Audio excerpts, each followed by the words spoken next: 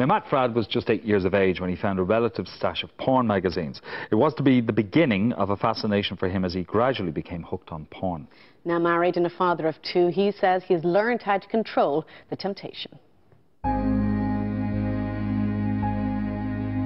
I was eight years old and I remember stumbling into the back of a relative's shed. I was out the back with my brother and we were just kind of mucking around out there. And I walked into the shed and I opened up um, a big trunk and I looked down and I saw a centerfold of a naked woman. And I thought, wow, you're friendly. And that's where it began. You know, I'd never seen anything like that before. By the age of about 11, me and my friend would go into newspaper stores and steal, steal porno, steal Playboy and stuff like that. And we'd shove it under our shirt and, and bolt. And so we developed quite a stash, and I kept mine under the bottom drawer of my, uh, of my dresser, thinking it was an impenetrable fortress, but unfortunately my parents found it. My father found it, and, and he just sort of said, all right, mate, just don't let your mother find out. And I thought, okay. Walked back into my room, shut the door, I was like deer into headlights, look, you know, like what just happened there?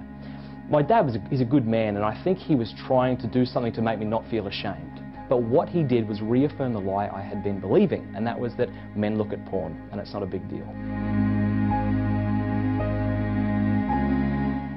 And Matt and his wife Cameron join us now. You're very welcome to the morning show. Thank you very much. Thank you very morning. much for having us. No, we're thrilled that you're here, Matt. Um, it went beyond like your like your dad, and you say that he was he was. You think looking back, he was trying to do a good thing, by Yeah. trying to make you feel not ashamed. Yeah. But it went beyond that. What- mm-hmm. A teacher told you something as well, which just Yes. endorsed it even more. By the age of 13, not only did I have kind of a relative with a stash of porn in the shed, I not only had my dad who kind of congratulated me for it, I had a grade 8 teacher on a camp who basically told us that pornos and masturbation, it's all good, it's healthy, go for it.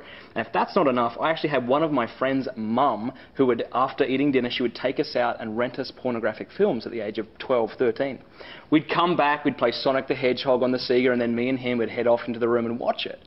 And so, you know, no one had ever told me there might be a problem with this. Well, of course, and, and, and people watching this will say, "Wow."